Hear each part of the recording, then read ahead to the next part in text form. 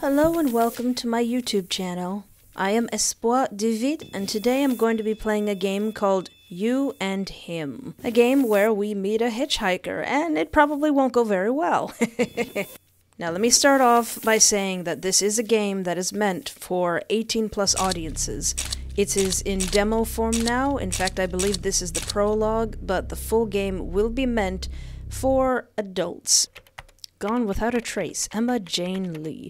Emma Jane Lee, age 23, went missing last Friday night on June 16th. After she went out clubbing with a group of friends, her friends last spotted her walking down North Street, heading in the direction of her apartment. Her family filed a missing persons report after they couldn't get in contact with her when her boss became concerned and notified the family that she hadn't shown up for work. Leave it to your boss to be the first person that you're missing. Middle of nowhere, 3:32 p.m. Oh, that's lovely. Where are we? Nowhere. In other news, the hit boy band Cake will be playing live tomorrow night at the Sanita Alley Stadium in Park Bend, Arizona. Wow, Cake is gonna be here! Yeah. Cake! According to our sources, concert tickets sold out within seconds of their initial online release date, despite the fact that the massive influx of these users caused the website itself to crash. Oh jeez. That must have been some cake. Luckily, they managed to get the site up and running again, but many people were upset since they were forced to log back in, and many missed out on buying tickets because of this. Aww. Thousands took to Twitter to vent their frustrations, while others made light of the situation by making and sharing memes. Many of these posts went viral and got Santita Alley Stadium trending for three days straight on Twitter itself. Twitter, I like that. That's funny. I can't believe what I'm seeing in these reports. Can you, Kenny? The car's radio crackles and a new voice joins in on the conversation, his tone coming across as both jovial and borderline cartoonish. Not in the slightest, and I'm just stunned as you are. It's fascinating to see these young men who started from modest backgrounds rise to take the world by storm. I don't think I've seen a boy band craze this bad since the 90s and early 2010s. Yeah. But I don't think those even compare to what we're seeing today, don't you agree, Bob? Yeah, Bob, what do you think? Bob, the first radio DJ who spoke, lets out a giant guffaw. Ooh boy, that is an understatement. Even my husband adores their latest hit single, The Way You Make Me Sway, which is saying something. I thought your husband hated modern day music. My point exactly. If they can make my husband love their sound, then you know they've got something special that old men like him and I can't even ignore. when they start playing Cake's latest single, you turn down the dial on the radio, choosing instead to focus on the long stretch of road before you. The blistering heat already makes it hard to concentrate, and you don't need the added distraction. Especially considering you've driven almost 323 miles thanks to your aunt's pleas to gather up all your uncle's valuables and drop them off at his new apartment in the next six towns over, and are now on the return drive home. Sans guns. Eh. You tried turning her down, but your mom called and forced you to agree. Something about being a good niece and mentions of past actions where your aunt almost didn't treat you like dirt and yada yada yada. At that point, you just wanted to hang up and go back to your hermit crab lifestyle. So you agreed and took on an obscene amount of guns for your aunt to give to your uncle. Due to the terms and conditions of their divorce, the judge ruled that since your aunt got ownership of the house, your aunt needed to fork over her collection of guns and hand them over to your uncle. Getting the aforementioned guns out of her house was a nightmare. The woman kept screaming every time you loaded the guns into your car. Ooh.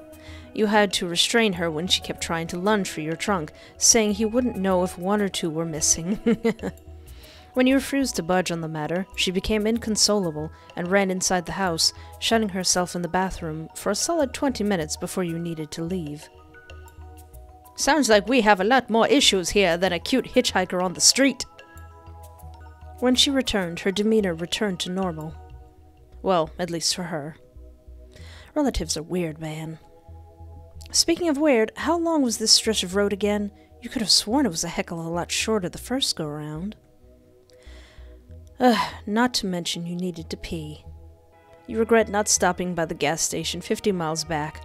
actively choosing to ignore the huge warning signs that said, next gas station in 100 miles. A terrible decision, considering the current state of your bladder. Ooh. You mull over your lack of options when something in the distance catches your attention. As your car eats up the distance between you, you make the shape of a large, lumbering figure walking along the side of the road with their thumb jutted out and raised above their head. Huh. What's a hitchhiker doing all the way out here? Your bladder quakes. Never mind, you don't have time for this. Not to mention the fact that your mother always warned you about shady hitchhikers. Letting this man into your car reeks of future trouble. Best to avoid a situation like this altogether. Good thinking on. Good thinking. When you pull right up behind him, you notice a distinct limp into his walk and blood blooming out from his pant leg. Uh-oh.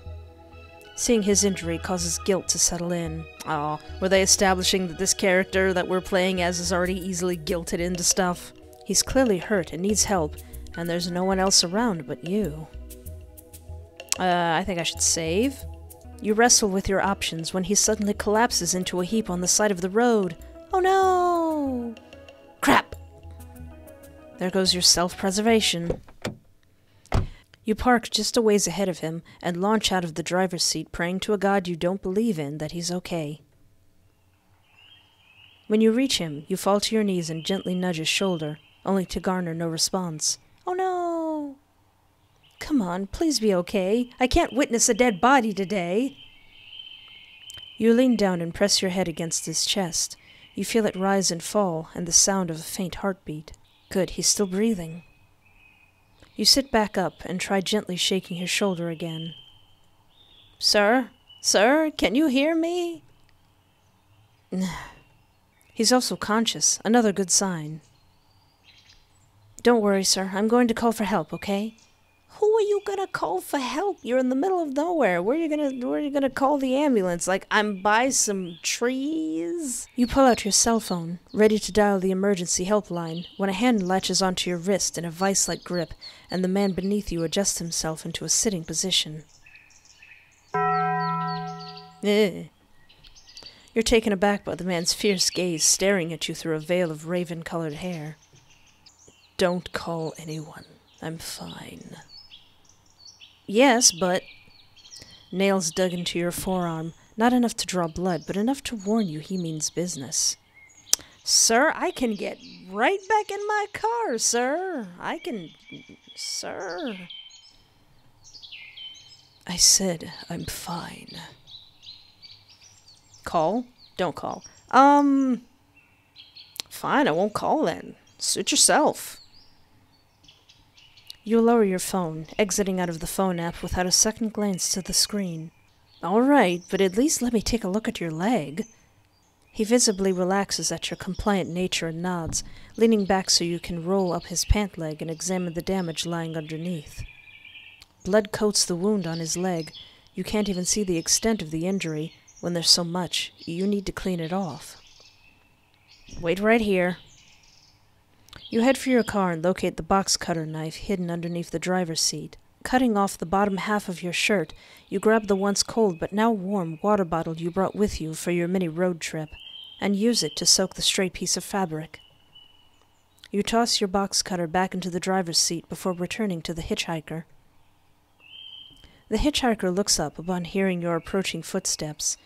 You watch as his eyes widen into the equivalent of large saucers, his lips slightly parted in surprise as his gaze zeroes in on the new patch of exposed skin. Aw. He studies the shape of your body, tracing over each and every part of you with new eyes. Sir? You grow flustered at the attention, but you also don't hate it. In a nice way. You're a little disappointed when he averts his gaze, wondering if you misinterpreted the situation, until he bites at his bottom lip as if he's done something naughty. Aw. Your heart flutters at the implications. His reactions are kind of cute. You lower yourself to his level and try to ignore the blush spreading across your own cheeks. He's really attractive, a fact that you couldn't help but notice when you rushed to his side and saw that intense expression like an arrow striking through your helpless little heart. Aw, that face, aw. But that's not the only thing that garnered your attention. This hitchhiker is Adam, the lead singer of Cake.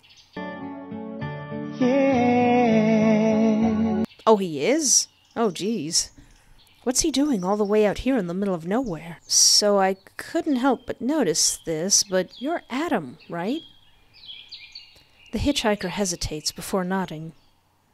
Okay, so I don't mean to sound rude, but what are you doing all the way out here, asking strangers for rides?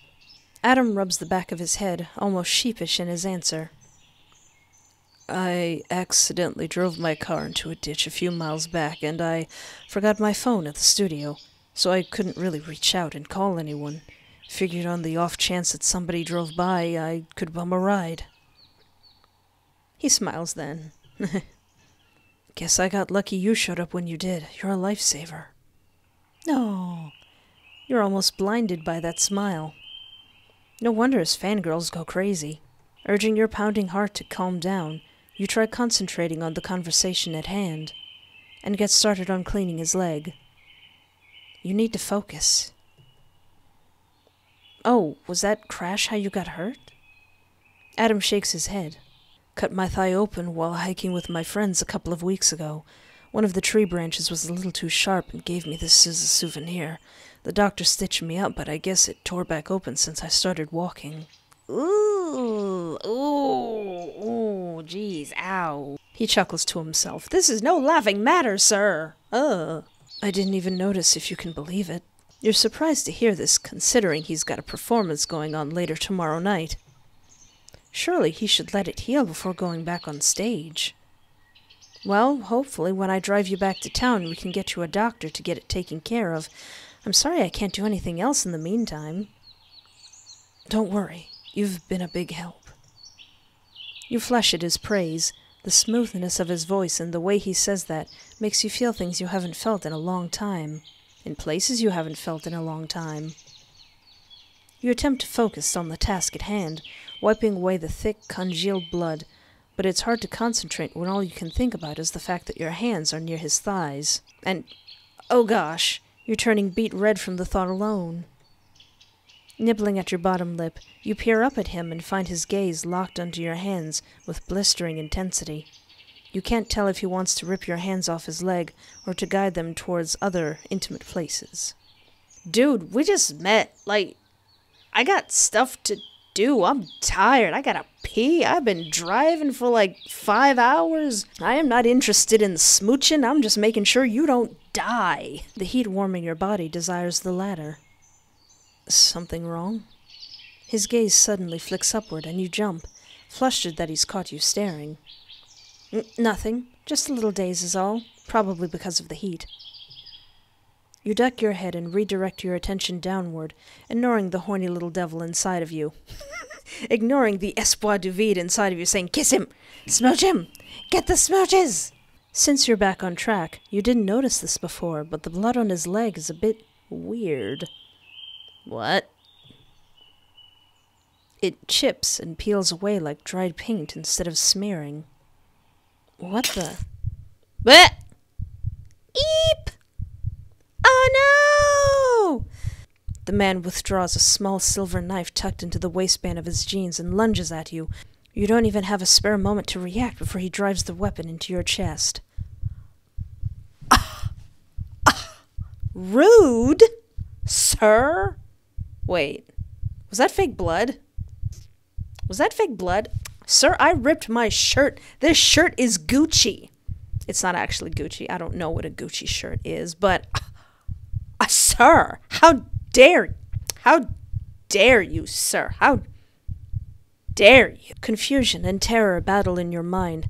Adrenaline pumps through your veins as you try to fight him off. You scratch at his chest, face, anywhere you can dig your nails into, but he scoffs and pins your arms down with his knees. You watch in horror as he plunges the knife into your exposed chest again and again. Ow! Rude! You're getting my shirt. You get you're getting blood all over my Gucci shirt. I do not know what a Gucci shirt looks like. You don't even have time to ask why as the world goes dark. How rude. Oh well, this does say that it's a pro, uh, pre Pre- prequel? Prologue? Prologue, so I guess whoever we're playing as now might not be who we're playing as later. Alright, fine then, I will call. Forget you. You wrench your arm out of his grasp and dial for help anyway. He's insane if he thinks you're just gonna let this whole thing slide. He's clearly injured and definitely needs a dressing for that wound on his leg. And I don't feel like tearing my Gucci shirt to do that. You yank your arm out of his grasp and press the phone to your ear before standing up, turning your back to the man as you glare at the sun beating down on you. Could it be any hotter? An operator picks up. I'm gonna get a knife in my back. Place your bets. I'm gonna get a knife in the back. Hello, what's your emergent? She's cut off mid sentence when the hitchhiker plucks the phone out of your hands and drops it into the ground. He crushes the device underneath a scuffed boot, hands in pockets, looking almost bored as he does so. You're just gonna you're just gonna break my phone like that, fam? You're just gonna break my phone like that?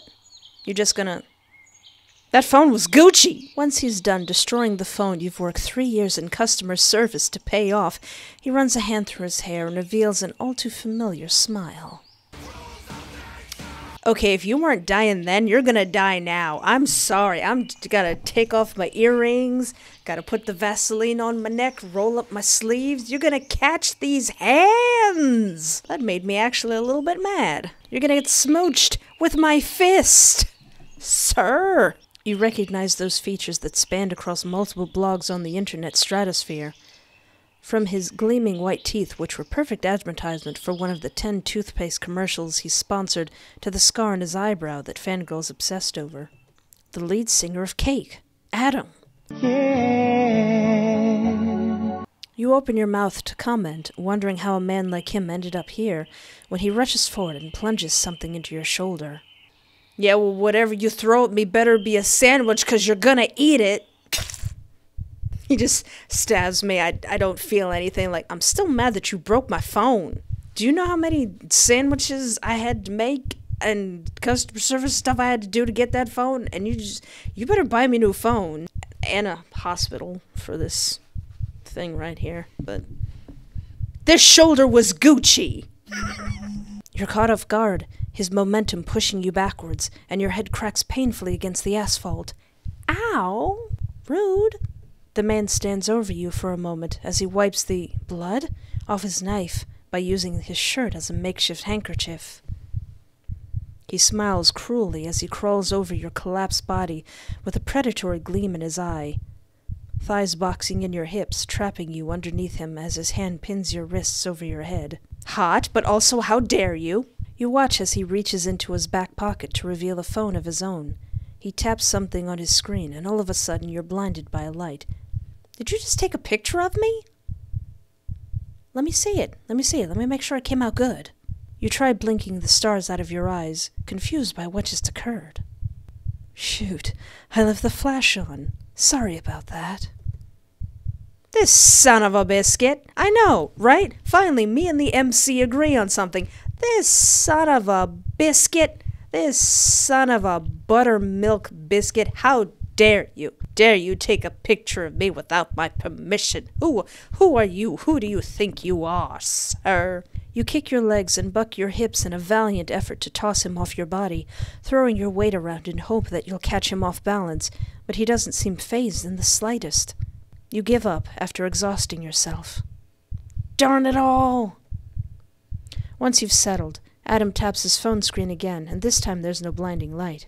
He stares at the picture he just took for a moment, nods to himself, then shoves his phone into his back pocket, satisfied by whatever he sees.